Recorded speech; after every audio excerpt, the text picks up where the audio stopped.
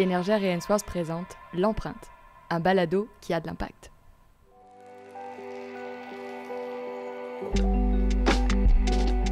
Bonjour à tous, ici euh, Jean Théroux, je suis vice-président croissance et innovation pour l'ensemble des activités d'Ainsworth et d'Énergère au Québec. Le balado L'empreinte est un balado engagé et engageant. On rencontre des leaders euh, de nos différentes organisations au Québec. Aujourd'hui, on parle avec euh, Martin Danfous. Martin est le maire de la ville de Varennes depuis 15 ans et est à la tête de l'Union des municipalités du Québec depuis euh, plus de sept mois déjà. Bonjour Martin, comment ça va? Merci d'être là. Salut Jean. ben, ça va très bien. Merci pour cette invitation-là. C'est intéressant. Je me rappelle que les premières fois où on été en contact, on cherchait à développer une nouvelle solution, une nouvelle approche, un concept un peu innovant d'accompagnement, puis vous avez été les premiers à lever la main. On connaît bien ton portrait politique. Aujourd'hui, ce qu'on a le goût de connaître, c'est l'homme et l'empreinte qu'il laisse et qu'il veut laisser j'avais le goût de, te laisser l'occasion de te présenter un peu. Si tu avais à te décrire rapidement, c'est qui Martin Danfous? Parle-moi-en. Aïe, aïe, aïe.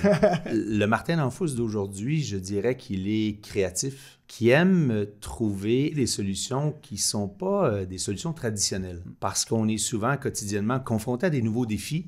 moi, j'essaie toujours de trouver un angle différent. Puis euh, étonnamment, ça donne de bons résultats. L'expérience des 14 dernières années à la ville de Varennes nous a amené euh, de très nombreux succès. Ça fonctionne bien. Oui, ouais, clairement. Ben, je pense que les résultats le démontrent, puis le rayonnement que vous avez, notamment à Varennes. Je trouve que tu es un leader qui est aussi, euh, je décèle chez toi clairement une notion d'entrepreneur. Tout ça se bâtit tranquillement, puis il y a plein d'éléments à travers ma vie, des succès comme des échecs, qui m'ont amené à être ce que je suis aujourd'hui. Parle-moi de ton enfance, un peu le contexte. Tu es, né où? Parle-moi un petit peu de, ton contexte familial, dans quelle région? C'est des bouts que je connais moins de toi. En fait, il faut savoir que les deux frères d'Anfous, on connaît bien Vincent aussi, on a eu toute notre enfance à Ville d'Anjou. On, on a grandi dans l'est de Montréal, à Ville d'Anjou, très longtemps. Cette euh, enfance-là a été bâti autour du sport. Donc, sans grande surprise, notre jeune âge, 4 ans, 5 ans, on était déjà dans des équipes sportives de hockey, l'été le baseball, mm. le soccer. Tous les sports nous énergisent. Mais on a surtout grandi en apprenant qu'à travers le sport d'équipe, c'est en équipe que tu réussis à gagner des championnats. On n'a pas fait beaucoup de sports de compétition individuelle. Jeune, j'étais un petit gars. Ah ouais? J'étais délicat. Contrairement à Vincent, qui était très rapidement, à l'âge de 10-11 ans, est devenu plus grand que moi, puis on a 16 mois de différence, et beaucoup plus costaud. À cette époque-là, j'étais plus timide, plus réservé. Reste que j'étais sportif avec la volonté de gagner. Mais dès que le sport dans le hockey est arrivé à la période du contact, bantam, honnêtement, j'étais pas aussi confortable que Vincent, toujours avec le désir de vaincre, on arrive, je, suis à 17 ans, Vincent en a 16.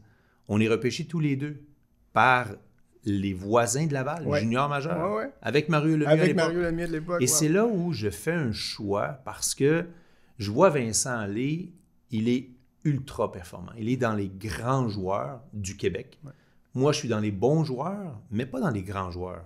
Fait là, j'ai une décision à prendre. Je fais quoi? Je me sentais pas assez fort physiquement, assez bâti.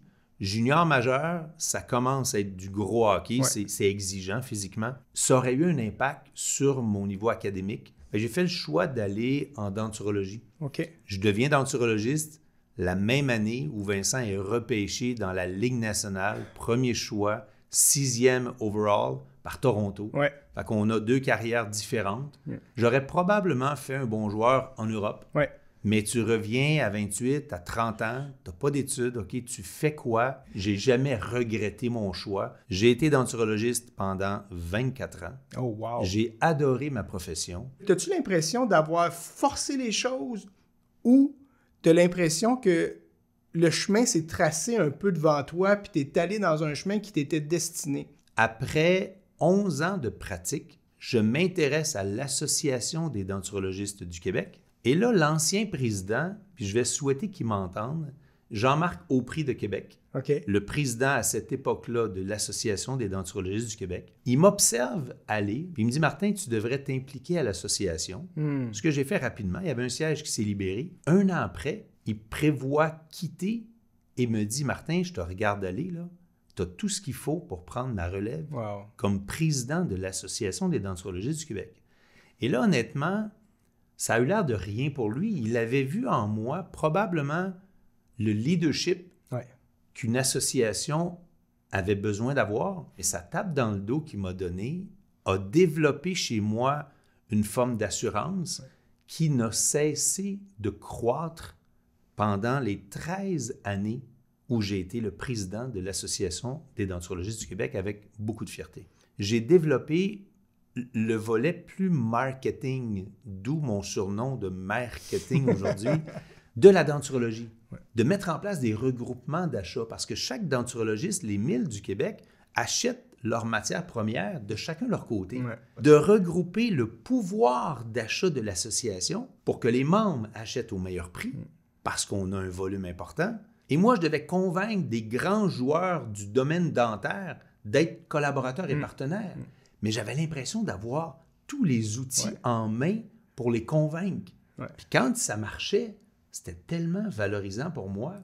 C'est comme si j'avais réussi en 13 ans à faire un bac en finance, un bac en marketing avec une maîtrise en marketing qui était ma plus grande force. Mais donc, je suis allé chercher des outils Ouais. exceptionnels, mais ça, c'est sans aller aux études, mais c'est les études de la vie. Les études de la vie, Et c'est exactement. fascinant comment ça a été formateur, mais comment ça a donné, à mon avis, puis moi, je l'ai ressenti chez moi, une différence énorme dans la confiance en moi que j'ai développée. C'est ce qui t'a, je présume donc, amené tranquillement vers un rôle dans le domaine public Ouais. avec euh, ce que tu as appris à travers ces 13 années-là. Comment, comment ça s'est passé, ce, ce virage-là qui continue à s'inscrire aussi dans le succès? On arrive donc à Varennes dans une période importante, 2003. On a besoin d'une deuxième glace, d'une deuxième arena, parce qu'il y a trop de jeunes au patin artistique, au hockey. Mais là, on Trop a de deux générations qui se battent, les jeunes familles qui veulent une deuxième glace, parce qu'on louait pour 250 000 dollars d'heures de glace ailleurs, Ouais. Jusqu'à Montréal, pour répondre aux besoins du sport local. Ouais. Fait que tu comprends que ça ne fonctionne pas. Non, non. Fait que moi, je dis, OK, mais les gens vont suivre. T'avais un business Mais là, il y a une clientèle plus âgée, qui n'ont pas d'enfants, qui ont peur au règlement d'emprunt que va coûter la deuxième glace. J'en ai pas de besoin. Je veux pas payer pour. Fait qu'on a deux groupes qui s'opposent dans des référendums. On perd par 78 votes. Pour faire la, la Pour glace une deuxième glace, Ah. Pas de deuxième Aïe, aïe, glace. aïe, 78. Et en 2005, deux ans après, un autre référendum. Là, je ne suis pas élu. Là. Hein, hein. Je suis le président du comité du oui, Ouais. mais je suis le citoyen investi, Ouais. vice-président du hockey, coach, qui veut ça pour mes enfants, mais pour la communauté. Ouais. Et ça marche pas une deuxième fois. Ah ben, tabarouette. On arrive dans une partielle 2006. Deux membres de l'équipe avec qui j'étais démissionnent, découragés du climat politique à Varennes. Il faut savoir qu'il y a trois partis politiques représentés au conseil. Le maire est minoritaire. Ça fait 11 ans que le maire est minoritaire. Ça, là, c'est le plus bel exemple où ça va nulle part. Ben non, mais c'est clair. Quand ouais. tu fais du surplace dans une ville, tu régresses. Ouais, ouais. Varennes avait l'air de ça. En 2007, une opportunité dans un bon quartier. On est trois candidats. Je remporte 70 du vote. Oh, Mais le climat politique reste exécrable. Ouais. Je forme mon équipe et mon parti politique, le Parti durable, équipe d'Enfous, mais dans une approche durable pour que ça dure longtemps. ouais, ouais, ouais. Mais pas tant de développement durable, parce que moins- c'était moins populaire. Ça l'est devenu par après. Ouais, fait que ouais. j'étais très content de mon nom. Et là, je remporte un raz de marée. Ah ouais, hein? 100% des membres de mon équipe, on est trois partis politiques complets, on a 72% du vote. Hmm. faut savoir, juste pour te dire à quel point Varennes n'allait pas bien, on a eu cinq DG, directeurs généraux, en six ans. Oh, ouais, non. Et quand j'arrive en poste en novembre 2009, il n'y a pas de DG. Les élus avec qui j'étais se sont dit, bon, il y a des élections, le parti qui gagnera choisira son DG. Sébastien Roy, travaillait pour la ville, a été DG par intérim. C'est un gars de chiffre, jeune, il a 29 ans à l'époque. Je le regarde aller, je regarde son tempérament, j'ai le feeling que j'aurais un bon fit avec lui. Hmm. Est-ce que je me suis pas trompé? en fait, aujourd'hui, là, je le répète sur toutes les tribunes, j'ai le sentiment, 14 ans plus tard, il est encore là, hmm. moi aussi, qu'on est probablement le duo maire DG le plus redoutable hmm. au Québec. Redoutable dans le sens que on n'est pas dangereux, hmm. mais on est efficace. Puis ça fonctionne vraiment. Dès le départ, Sébastien vient nous dresser un tableau la première semaine. Imagine, il vient d'arriver, on est des nouveaux élus, on est craqués, puis il nous dit attention là, le modèle traditionnel du milieu municipal, c'est de construire des maisons. Chaque maison que vous allez construire, vous allez vous appauvrir. Et là, il nous sort son tableau. Oui, vous avez des revenus, mais ce que vous allez devoir offrir en service va vous coûter plus cher que les revenus des maisons. Hmm. Il dit par contre, si vous axez vers le commercial et l'industriel, puis regardez le potentiel de Varennes, près de Montréal, pourquoi on n'oserait pas acheter du terrain, mais surtout, on pourra choisir qui on veut attirer chez nous? Exactement. Puis crois-moi, là, acheter 9,2 millions de pieds carrés à 7,5 millions, j'ai la moitié de mon conseil qui shake. OK, mais c'est parce que, Martin, si on ne vend pas, dans quatre ans, on est fait. Et non seulement on a réussi un grand chelem, c'est notre modèle d'affaires depuis 14 ans. Puis là, on regarde ce qui se passe actuellement. C'est hallucinant comment on a généré de nouvelles sommes de revenus sans taxer les Varennois. Ça fait sept ans qu'on n'a pas taxé les Varennois. Si on regarde la liste de ce qu'on a réalisé en quelques années, nouvelle bibliothèque net zéro, centre de soccer intérieur, deux patinoires, enfin, Finalement. on a réglé les patinoires. Notre polydôme est extraordinaire. Nouveaux ateliers municipaux, on construit la caserne. Il y a tellement de choses. Est-ce que c'est plus exigeant que ce que je pensais? La réponse, c'est oui. Mais est-ce que j'aime ça? J'adore ça. Hmm, tu sais, je suis visionnaire, j'ai plein de projets. Fait que, euh, il me reste combien? 6, 8, 10 ans mais c'est parfait. Faut mm. pas que je niaise avec le POC, puis let's go. On joue dans le but. Les gens fuyaient Varennes avant. Mm. Et là, depuis 14 ans, les gens arrivent à Varennes. l'inverse. En tant que maire, on joue un rôle de modèle. Qu'est-ce que tu as le goût de laisser comme empreinte? Si je veux que les gens fassent attention à leur santé, ils doivent faire davantage de sport, mais j'en fais. Quand je veux que les gens fassent attention à leur consommation, on a parlé beaucoup d'énergie tantôt. Ouais. Mais je donne l'exemple.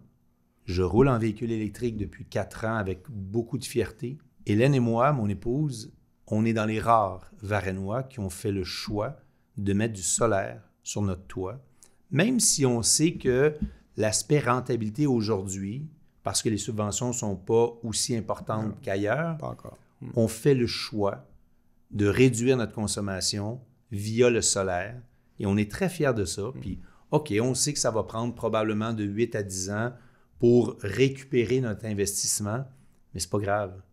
Je me suis arrangé pour que les panneaux soient visibles de la rue, pour que les gens se rendent compte que le maire fait sa part. Donc, que ça soit la bibliothèque, que ça soit ma présidence de la CEMEC, notre centre de biométhanisation, c'est une fierté exceptionnelle. Mmh. Mmh. À Varennes, on produit du GNR, du gaz naturel renouvelable qu'on envoie dans le réseau d'énergie avec des restes de table. Mm. Pensez-y. Mm. On a le plus important centre du Québec, 120 000 tonnes. Mm.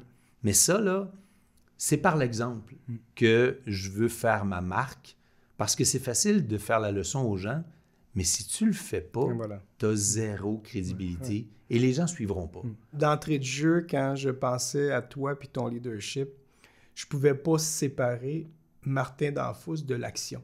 Est-ce que c'est quelque chose qui va te toucher personnellement, euh, le contexte dans lequel on vit aujourd'hui, le, moment quand même assez crucial de notre époque où c'est littéralement une question de survie pour une bonne partie de l'humanité? Comment tu, comment tu le vis dans tes tripes? Les Greenpeace de l'époque qu'on voyait à la télévision, qui se promenaient en, bateau moteur qui essayaient d'empêcher des pétroliers d'avancer. On a toutes les mêmes images. Ils avaient l'air d'hurluberlu. Absolument.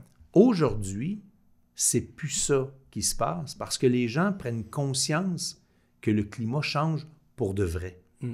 Il n'y a jamais eu autant d'inondations. Il n'y a jamais eu autant de verglas qui a des effets né- négatifs. On a maintenant des tornades au Québec. Les chaleurs extrêmes, c'est pas juste ici au Québec, c'est partout dans, sur la planète. On les voit à la télévision. Mm. Oh, il se passe quelque chose de dramatique. Mm.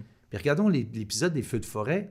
Donc, on sait maintenant, on a la certitude, puis je le sens dans ma population, que c'est plus juste un épisode rarissime qu'on vient de vivre, c'est la nouvelle réalité. J'ai un pouvoir d'intervention. Je vais être partenaire avec le gouvernement du Québec. Je vais être partenaire avec Énergère. Je vais être partenaire avec tous les joueurs de l'énergie. là. C'est ensemble, comme mon équipe de hockey, Ouais. comme mon esprit de famille, où on réussira de grandes choses. La production énergétique. Il y a des barrages municipaux. À Joliette, ça appartient à la ville. Ils génèrent 10 millions de revenus par année qui va dans les coffres de la ville. C'est très aidant. Les boucles énergétiques, on est avec vous là-dessus. Donc, si comme élu, tu n'es pas capable de prendre conscience du rôle que tu as et de l'importance qu'on doit accorder à ça, honnêtement, tu fais fausse route. Tu es marié avec ta femme depuis euh, plusieurs années? En fait, je suis marié avec Hélène depuis euh, 10 ans, mais on était voisins à l'âge de 5-6 ans. Ah oui. On allait à l'école euh, maternelle et première année ensemble, Une fille d'Anjou, donc. main dans la main. et ça a été ma première blonde du secondaire à 14 Wow. et 15 ans. On a fait nos balles des finissants ensemble. Il y a une très, très longue histoire entre nous. Donc, on a cinq enfants à deux, deux petits-enfants et une troisième en route. Si tu voyais l'esprit de famille, encore une fois, là, quand on se met à jouer à des jeux de société, quand on se met à danser dans la cuisine pendant les, les parties qu'on a, les gens ont de la misère à imaginer ça. Mais quand ils le voient, parce que je fais toujours beaucoup de photos, j'adore la photo, my God, c'est donc bien cool chez vous, mais c'est ça qui a une valeur Ouais. inestimable. Ouais. C'est pour ça que je n'irai pas à Ottawa Ouais. et perdre des occasions comme ça. Je suis très, très loin de penser à la retraite, mais je sais qu'il en reste beaucoup moins en avant. Les années passent vite. Comme élu municipal, gouvernement de proximité, tu as un pouvoir de réalisation qui est extraordinaire. Mm. Et c'est ça que j'ai le goût de faire. Au gouvernement provincial, au gouvernement fédéral, dans les deux cas, tu es à Québec ou à Ottawa, mon esprit de famille va s'effriter. Je veux rien savoir de ça. J'ai des petits-enfants qui sont là, là. Mm. je veux grandir avec eux. Je veux leur apprendre à patiner, à jouer au hockey. Si je suis loin, je vais manquer cette opportunité-là. Il est hors de question. C'est euh, plein de sagesse de savoir reconnaître ce qui nous fait du bien, vraiment. Ouais. Puis c'est vraiment euh, un honneur de t'avoir reçu aujourd'hui, d'avoir entendu, puis de voir l'impact que tu as, puis que tu vas continuer à avoir dans notre société pendant encore plusieurs années. Merci beaucoup d'avoir été là. Et merci, Jean. Honnêtement, tu m'as forcé à me replonger, puis on le fait rarement, Mm, mm. me replonger dans mes souvenirs, dans mes états d'âme de l'époque, tout le cheminement des 50 dernières années. Mm. Merci. Merci à toi. Merci euh, d'avoir pris le temps d'écouter notre balado L'empreinte. C'était vraiment une belle rencontre avec Martin. Je trouve que c'est un gars euh, intègre, c'est un gars passionné. J'adore son côté esprit d'équipe, comment utiliser mes forces pour que tout le monde rayonne. On vous attend pour un prochain épisode. À bientôt. Pour découvrir nos prochains épisodes, abonnez-vous aux pages LinkedIn d'Energère et d'Ensworth. L'empreinte est également disponible sur toutes les plateformes de diffusion. Et si vous avez des envies de certains sujets ou d'invités, n'hésitez pas à nous écrire à balado à